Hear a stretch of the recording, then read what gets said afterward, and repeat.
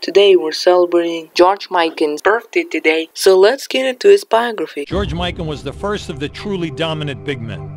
In 1945, he carried DePaul University to the NIT crown, the equivalent of the national championship at the time. The star of the league champions Minneapolis Lakers, Mikan was selected MVP of the National Basketball League in the 1947-48 season. When the NBL merged with BAA to form the NBA, Mikan, standing 6'10 and 245 pounds, became its main gate attraction. Mikan led the league in scoring in three consecutive seasons through 1951. The four-time All-Star was MVP of the 1953 contest in Fort Wayne. He led his Lakers to five league championships through 1954. Upon retiring as a player, Mikan briefly served as head coach of the Lakers.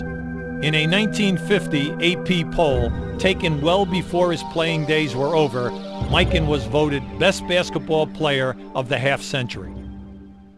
Here's some more fun facts about him.